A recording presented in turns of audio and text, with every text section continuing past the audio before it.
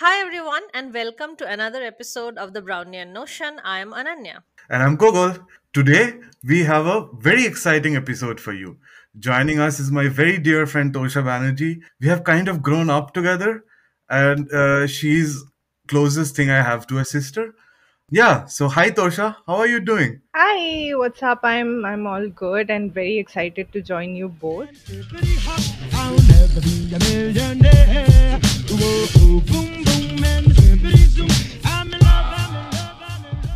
I remember the first day I met you, you got hit by a football at first. and then you and then so we, we were sitting in the middle of Deshapriya Park, which for everybody who doesn't know is a is a very famous park. It's it's not really a park, it's more like a playing ground. You have tennis courts there, people play football there, and it's in South Calcutta. And uh, we is very important. South is very important. Yes, we are very proud of being South. No, I'm just kidding. Uh, and we we were literally sitting like six or seven of us on the field and just this football comes and hits Torsha in the head. There's there's like a lot of us, right? So all of us are sitting. It's just hits Torsha, and and then when we're going home, she gets hit by a bus. This is the first day I meet Torsha. You're saying it so casually, like yeah, then she got hit by a bus. Yeah, this is this is very very normal. Yeah, it's, it's very normal for me. But if you yes. hang out with me, you will uh, you'll see that I could have potentially died at multiple points in my life, but I just didn't because because you know I've been lucky and whatever. But yeah, he, what he said was uh, crazy because there were seven of us and we was all sitting in a circle and it was just me as if my head was just blocking everybody else. And i got hit by that football which was by the way shot with such strength. I know because i was knocked out for at least two minutes uh, and uh, wow. uh, yeah i had a big uh, bump on my forehead and and i i could not think or comprehend anything for like two minutes and then when i started walking i was not thinking correctly and I was all loopy and everything. And there was a crossing I remember where uh, Gogol said I was hit by a bus.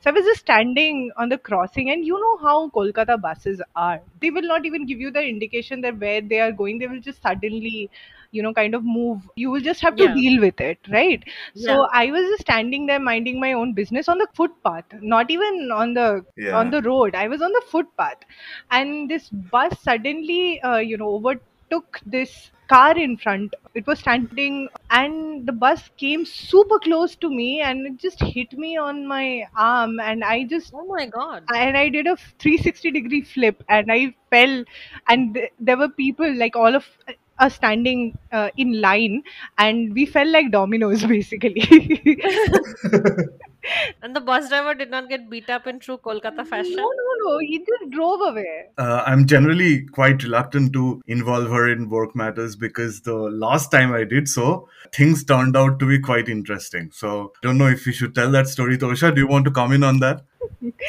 yeah thanks for bringing that up by the way uh, a little bit of background here. So i was i was in college and i was just barely out in the real world totally independent. And this was the second year of college and i was seeing a lot of my batchmates. They were doing a lot of internships at that point of time. And all i did was hang out with gogol and the other friends. That's all we did. We we did that all the time. And i felt like am i the only idiot who's not doing anything you know productive with her life. And you know i used to feel and there was you know every day we used to meet up and we just used to go through like laughter jokes and everything but then there was nothing productive. So one day Gogol, uh, you know told me that he was he was having this kind of a discussion with his college mates that they're going to start with uh, this non-profitable organization and uh, this team of people were led by should i take his name uh, i i don't think i should uh, let's just call him prem chopra That's a beautiful name. So Prem Chopra was the chairperson of the non-profitable organization that Gogol introduced me to. So we started to work towards a seminar that was supposed to happen. So I was diligently going to the work to work sincerely. So then I ended up working a lot with Prem Chopra alone. So initially it was fine, but slowly I started to, you know, see that he was making a big fuss about what I eat and he would drop me home and he would do weird things around me uh, and I I started to feel very awkward and avoided going to his makeshift office uh, because a it was at his home, so I was a little bit uncomfortable after he started, you know, giving me all that attention. So I have one question before we move further. Prem Chopra is not an older man here, right? Like, is it? Yeah, I mean, depends on what you define as older. No, I'm saying like a 20, 25 year age gap. No, no, no, no, no, no. That that's no, no. too. Okay, okay. That's not. That's not. Because fair. I had the image of Prem Chopra in my head all this No. time. But okay, sorry, continue. no, no. I think he was uh, late twenties, something like that, right, Torsha? compared to me, he was a ten year uh, kind 10 of. year uh, age. Yeah, yeah, Okay, age okay. gap. Yeah, yeah. Yeah. I was a kid, like uh, so. For, for me, he was quite old. Um, Okay. But anyway, but not like he was not a middle aged man, so no, not that. Even if I, you know, kind of avoided going to his makeshift office at his home, he would come at my place, show up at my place unannounced. This one day, he just ended up being at my place and uh, at 8 a.m. in the morning, and uh, he made my mom cook breakfast for him. It was so weird. the confidence. yeah, and my mom was super weirded out. Like, why is your like boss showing up at 8 a.m. in the morning to and asking for breakfast? So, like, is your company not doing well? I was like, it's not a company; it's a non-profitable organization.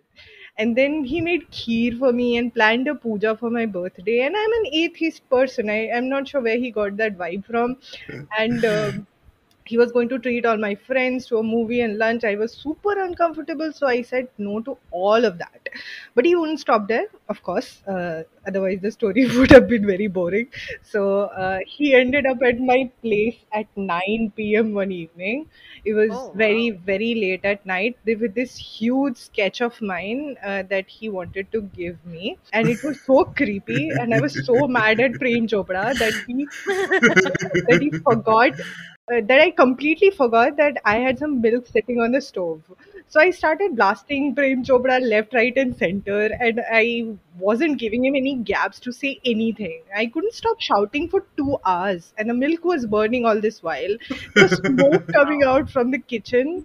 At one point of time, I think Prem Chopra was legitimately trying to tell me that something is burning, and I kind of yelled back, like, "Shut up, you burn in hell."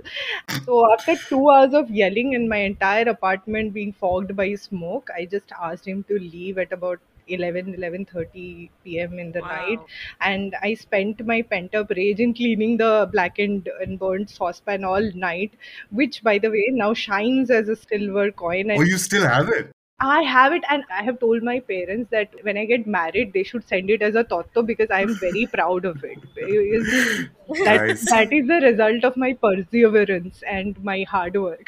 You should invite him to your wedding. No thanks. I don't want any Prem Chopras at my wedding. I told Gogol this during this entire phase. I told him that he's making me very uncomfortable, and all Gogol would do is laugh. He wouldn't help me at all. He would just laugh. He would just no, to be to be honest, I did I didn't know. So I was gone for a while. I don't remember why. I think I had semester exams or something like that.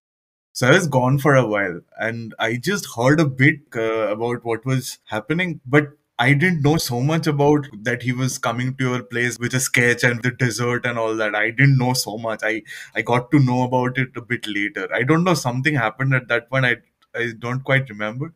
I just knew he was creepy. I was like, okay, that's normal creepy for him. I didn't know that.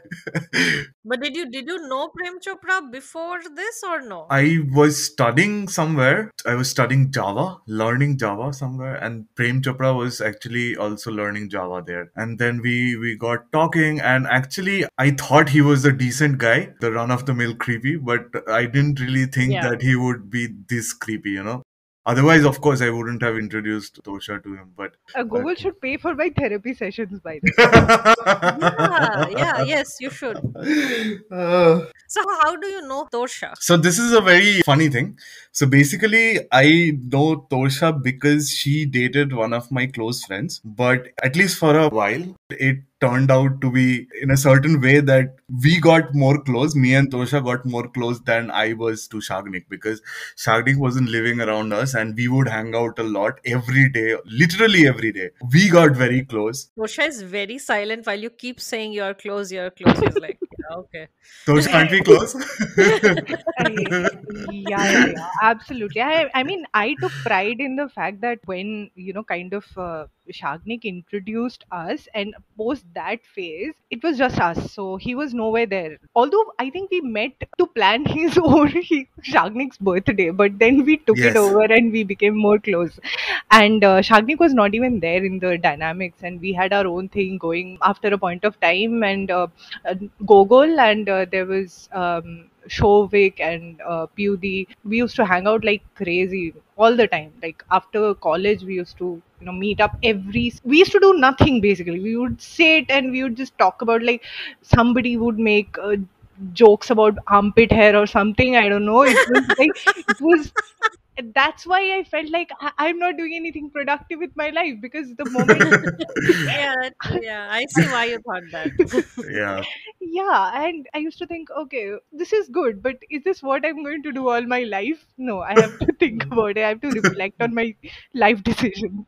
But at, at some point, we did want to do this all our life. I, at least I did, you know, or no. Make jokes about armpit hair. But this is a very good segue to what we are gonna talk about today. It was quite funny that we got very close, me and Torsha. I was not that close to Shagnik at that point, and life took its turns, and uh, basically Torsha and Shagnik they they broke up, but.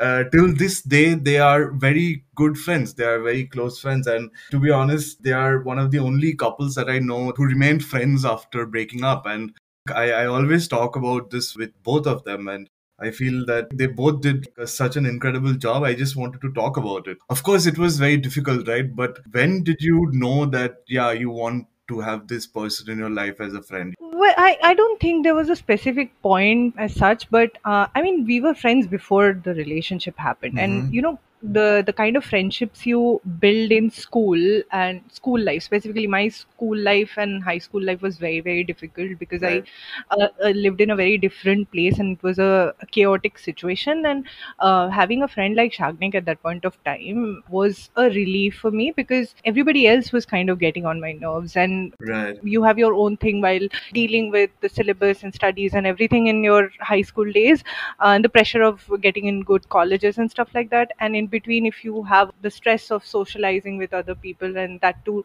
people do not really care about you or they just look down upon you then it becomes really difficult. Agnik uh, came into my life at that point of time and uh, it was kind of an escape route for me. So i kind of always wanted to have that kind of a friendship with someone. And i had that with Shagnik and it evolved into a relationship but that friendship never you know died in my heart. I don't think it died in Shagnik's heart as well. So uh, once we got over our relationship it was very difficult because all of you guys were our mutual friends right? So every other hangout meant like facing each other so it was very difficult um, but after a point of time i realized uh, that to save the friendship uh, is much more important to me because i wanted that escape route uh, which i had and i prized that so much because i realized that once we get out of this college life become real Mhm. adults we will need that escape route again uh, so I realized it long back. I don't, I don't know. I thank myself for it. I, I think Shagnik did too. Hmm. So we tried to stay in touch, and it was an effort from both the sides. I can't take uh, any credit here. So we kind of started speaking, uh, and then we build uh, the little bit of comfort level, and then after a point of time, it was organic because, like I said, the initial friendship was organic, so Right. it didn't take take that much of time to you know build it back. So, if I heard you right, initially you guys did not see each other, like you and Shagnik, and then a year later, you guys kind of like got back together as friends? Is is that what you said? Yeah, or was it immediate? Uh, no, no, it wasn't immediate at all. It was kind of difficult, and uh, let me honestly tell you, it was deliberate because, uh, like I said, it was not just um our relationship; it was friendship, and there were a lot of mutual friends in the line, and uh, it wasn't easy because uh, uh, some people around us did not make it easy. Whenever there is a you know breakup in a group of, of friends, uh, there are people who take sides. Although you don't want them to take sides, but they still do. There were people who took my side and there were people who took Shagnik's side, which neither of us wanted basically, but it just organically happened. Hmm. So then they went with their own narratives and then they went crazy with it basically. And uh, uh, we were not prepared to deal with that. So both of us, you know, in terms of dealing with those kind of narratives and those kind of things which were partly true but mostly fictional. We thought that it's better that we don't stay in touch. At least i thought it was better that i don't stay in touch because the more we would stay in touch the more of those fictional part of the part of the story will grow and people will have more things to talk about. So i just didn't want to feed the rumors and stuff like that. Do you think that if this relationship wouldn't have germinated in your school life when you were like relatively young, if this would be like a relationship from two or three years ago when you are already an adult, like you are your own self, do you think this would still be that easy, even if it if it was with Shagnik, even if the two persons were the same? Do you know what hmm I mean? Yeah, yeah, yeah. I, I got it. You you were talking about like a different phase in life when we would have met.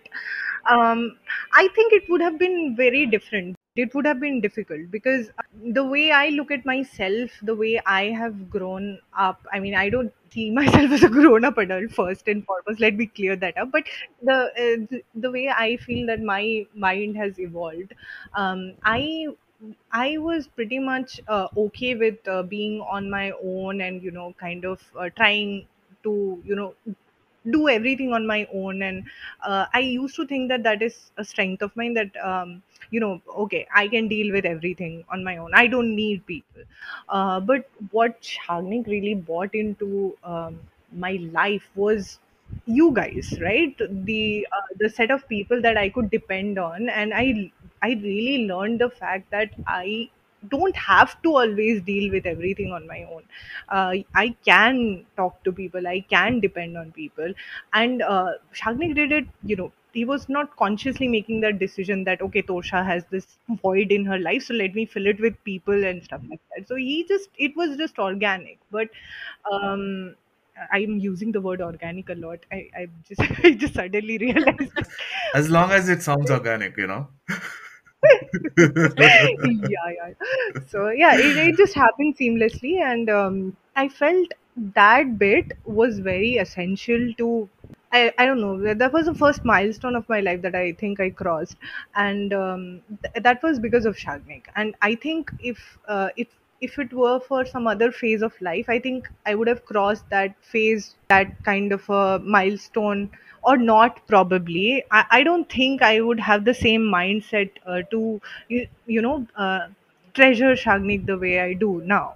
Um, so he brought a whole lot of change in my life and he did not do it consciously. He just he, he just had a lot of friends and he introduced me to them and they just happened to become my friends as well and great friends at that. And i have just too many great memories with them. Really nice conversation, Torsha, but unfortunately, we are almost out of time. So, we would like to move on to the next segment. Do you maybe have some recommendation for us, or something that you did over the weekend, or something that you would like to share with us? I'm reading this book. It's called The Last Queen hmm by Chitra Banerjee Divakaruni. hmm Um, and it's a historical novel based on the life of this beautiful commoner, uh, Jindan, who caught the eye of Maharaja Ranjit Singh and became his youngest, but the very last queen of India's Sikh empire um, and she was a commoner, but she rose to loyalty through her marriage with the king. And she became a warrior ruler only when her son, who was merely six years old, inherited the throne. Wow. Yeah, and that's very fascinating. And history knows when a woman becomes powerful and she becomes formidable it challenges the rest of the world. It happened Right. it, the same way with the Britishers of the era. hmm It's a true story, actually. It's a true uh, historical story of her valor and the bond she had with her son. And this is a very niche kind of uh, genre when it comes to uh, Chitra Banerjee Divakaruni. Right. Her, she has a unique take on women of history and mythology. Right. So if you read any of her books, The Palace of Illusions, The Forest of Enchantments, Forest of Enchantments is again a very good book. It's based on Ramayan, but from Sita's perspective. And we've heard these tales countless times, but looking back in the past from the female character's perspective, not from the way in which we've been narrated uh, the stories over and over again, but from the female perspective, it's so Yeah. refreshing. Um, and it's almost like you're hearing the story for the first time. And I, I really recommend book The Last Queen and maybe if you can get your hands on any other Chitra Banerjee Divakaruni book, uh, I I think you'll love it. Yeah, that's that sounds That's very interesting. Very interesting. Yeah. I actually do have the Palace of Illusions, but I didn't get around to reading it. But yeah, I also have it. Like my dad has it and he gave it to me multiple times. I just never got around to reading it. yeah, Now I want to. Yeah. yeah. Sounds very interesting. Yeah, thanks thanks for the recommendation. Yeah, it's a No good it's a problem. good one. No problem. Gogol, do you have any recommendations? Oh, we are doing multiple recommendations today. Because I want to say mine so badly. That's why I'm like, So okay, no, go ahead. I don't. I, I I'll do some other day. So, so I watched and multiple trigger warnings. Uh, I watched The House of Secrets. It's Okay. about a family in Delhi. Okay. Uh, in 2018, 11 people died, and how they died, what happened, uh, the whole uh, drama behind it, and the very important issue of mental health. It's covered very well. It's a mini series, it's three episodes on Netflix, but Oh, I would suggest whoever can deal with it because it is dark and I watch a lot of true crime should watch it one episode at a time only. Uh, it it's draining. I think it's a very important topic um, that should have been out there earlier than this. But I'm glad it is out there. I'm glad a lot of people are watching it and they're saying how good it is. So I think it's worth a watch. uh, how is it called again? It's called the House of Secrets, but if you look up the case, which I have, uh, it's the Burari murder case. Two nice recommendations for our listeners this week. Do write us about your stories as well. Yeah. Yeah, that would be most fun. Uh, we would even read out one of your stories that we find really amusing or funny or interesting on our podcast. The Yeah, if we really, really uh, find them funny, I can even guarantee more than one if they're really that funny. So write to us, tell us. Yes. And even if it is not your story and you don't want to reveal names, tell us stories that you know. Um, yeah, write to us. Our DMs are open. Cool. Stopping recording. Cool beans. We bop and hippity hop. I'm as happy as I can be. Whoa, boom, boom, you friends with your ex, huh? Uh? Are you? Or are you are you the terrible ex-boyfriend? no, I try to be friends with my exes, but they don't want to be. Yeah. But the thing is, have you necessarily done anything, or is it like as soon as your exes had somebody in their lives, uh, they just ghosted you a little bit? For me, after one year or one and a half years, if I think that I'm fine being this person's friend, I genuinely mean it. I really do not have any other, you know, like expectations or nothing of that sort from that person anymore. I just, uh, I genuinely want good for them. If you have known somebody so closely, it's just a shame to let them go like completely from your life. I feel because if that person did something good for you, if that person helped you to grow, if that person was something very important in your life, I genuinely feel that person is worth keeping in your life as a friend. Yeah, and I really try that, but unfortunately, it has never worked out. What about you? So the thing is, with both my exes, I mean, I have had three, but like the first person, we were Mhm. basically kids. And he did hate me a little bit. So I thought, you know, why even bother? Uh, that has always been my strategy. Why bother? Right. It might be uh, helpful for one person, but it might be Right. hurtful for the other, like depending how the Right. breakup went. So with my second ex, who you actually know, uh, wink Yeah. wink, so he was actually very very interested in being friends Yeah. initially and then what happened uh, he would drunk dial me and i was going to ask you like have you ever done that to an ex like he would drunk dial me and he would like cry or he would text me and block me immediately so i would get the message after he has unblocked me with just like expletives and i'm like uh, i don't want to be friends with somebody who thinks like that. You know when they're inebriated so it's like what's the point Yeah. of being friends? So yeah and with the third guy i just mm, nah that's not happening. He's a terrible terrible person. If you when you say terrible terrible person the first question that comes to my mind was if you think that person was really terrible why were you even with this guy? It's a bit complicated. Little complicated. So when i was with him it was very like this whole process of where i am the only one Mm. giving initially i would be like oh you know let's let's hang out and he was like okay fine. Like everything for him was like okay fine. And then in the end when i said that hey you know do you see us together in the future. Do you want to get married or do you want to move in or something? And he basically said sure but not with you. Oh wow. And that hurt me so much. I just couldn't forgive him. That's a very shitty thing to say. That's a dick move. That's like a classic dick move Yeah. So yeah since then i just couldn't forgive him. And it was hard because we were part of this huge group right, Right. and like torsha mentioned before that when you're part of a group people start taking sides. Yeah. and here at least people were mature enough not to take sides necessarily. Mm. but what would happen is if they're hanging out with him i just would not join. And that way i have missed out on holidays Right. and like vacations. Yeah. Which sucks but that's not what fun. can you do?